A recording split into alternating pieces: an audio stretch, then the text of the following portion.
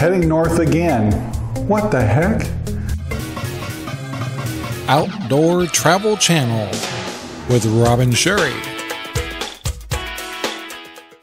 Hi guys, I'm Rob from RV Travel Channel, and we just finished up a few episodes of going up to Washington. And guess what? We're going there again. That was not expected, but there's some real benefits. So here's the deal. Some good friends of ours are traveling north, and they started here in Arizona and doing about a four or five month journey all the way to Montana and then over to Idaho and then to Washington and then Oregon and then California and back, trying to be back in October. And uh, so we, we were in contact with them and uh, we got the idea of, well, now the RV's up in Washington, why don't we meet them up there for a week and enjoy some quality time up in Washington? pull the RV out of storage up in Anacortes, and uh, then we kind of brainstormed a few more ideas. So like, well, since we're up there, we have a storage unit, we have an empty jet. Let's finally do it. Let's empty it. And so the people that were meeting uh, gave me some extra manpower to load the rest of what we have up there into a rental truck. And uh, so we're going to spend five days up in the Anacortes area with some friends, uh, do some sightseeing, and we'll take you along.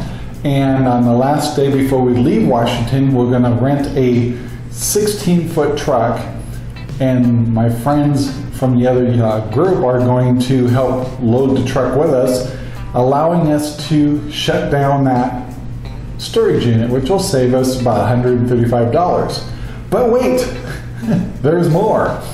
So, uh, we didn't really tell the story too much about the, the RV, but the RV uh, storage area that we're at was pretty full, and they're actually really nice about getting us squeezed in. But we uh, parked it in the wrong spot, and so we've had a little bit of a, of a disgruntled person. Uh, and of course, I'm in Arizona and can't move the rig.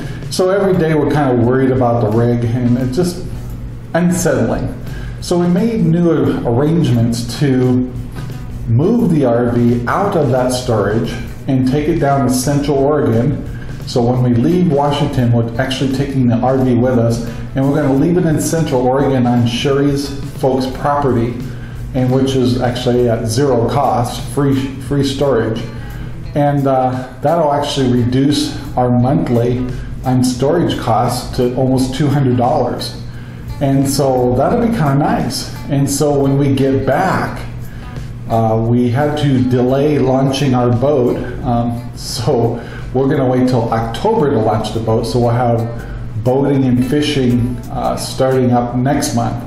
So anyway, but it'll be a great adventure because we're planning on maybe doing some whale watching. We're planning on doing some uh, showing our friends up there around of some beautiful things up in the Anacortes area. And uh, so I'm going to drive up, me and Cinder, with the truck.